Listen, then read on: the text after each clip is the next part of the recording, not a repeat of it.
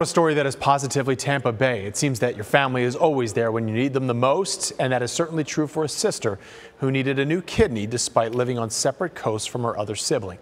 ABC Action News reporter Mary O'Connell shares their story. Leave it to sisters to always look out for one another. Just ask Carol Kenny and her older sister, Janet Hill. We see things the same way. You know, there's just so many nice things to say about her. And not long ago, Janet stepped up to the challenge for her family.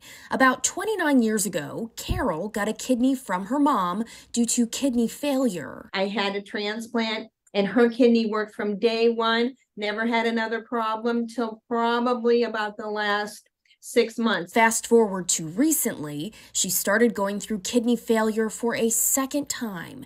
That led Carol, who lives in Florida, to begin treatment 12 hours a day at home for about four months. But without her knowing, Janet was looking into becoming her kidney donor. I just felt as though that it was just something that to be done without really, I guess, as far as, you know, having any, I didn't have any hesitation about it. Janet, who lives in California, went through all the testing and learned she was a match. She told me that she's been testing to be a donor, and I like, what? Really? Oh my, I'm so excited. I think I was the one who was trying to, you know, make sure she didn't get too overly optimistic because there was still testing to go. And all the way up you know, to the day before. Finally, earlier this summer. How you doing?